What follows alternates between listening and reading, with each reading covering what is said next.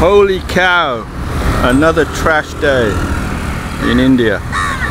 Well, this is a common sight in India. Um, the trash is kind of a global phenomena these days. Uh, the cows are uh, a special feature in India where they roam around quite freely and uh, they always seem to be attracted to the trash. So I guess this is um, a kind of an India India sight, Indian uh, sight, um, commonly seen. Uh, right, so uh, yeah, how's breakfast today? Yeah, right, good.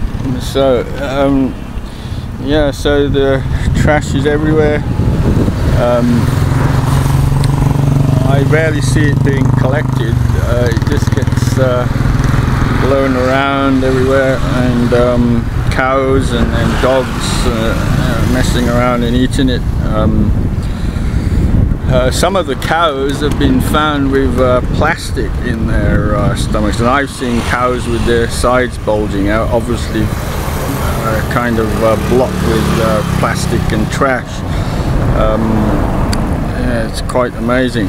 I don't know if uh, same cows are used for the milk, but I, I suspect that they are. So the milk in um, India could be a little bit uh, suspect for what what it comes from, you know. Um, anyway, uh, India definitely needs to uh, clean up its trash, uh, uh, as well as other countries, but I think it's particularly bad in India.